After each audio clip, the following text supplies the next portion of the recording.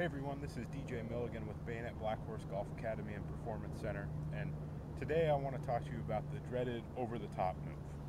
And for those of you who don't know what this move is, it's when the player gets to the top of their backswing and their hands move towards the, the target or towards the golf ball here instead of going down into what is commonly known as the slot. Typically, the cause of this is this hip moving back, your weight shifting to your back foot, this right shoulder staying high, and then usually what you'll see is a flip with the hands.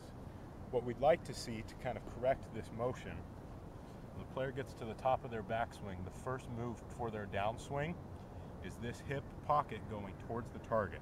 So the hips stay relatively square to the target line and then they turn the corner. What this does is it causes this right shoulder to come down. What that also does, if you watch from down the line view, get those hips going forward, you see that that club goes down into the slot. Now the player can hit the inside part of the golf ball, hit that nice push draw that we're looking for. All right, so give that a try, see if it helps that, that push fade or the, the slice shot that you're trying to correct. As always, if you have any questions, comment on the video or shoot me an email.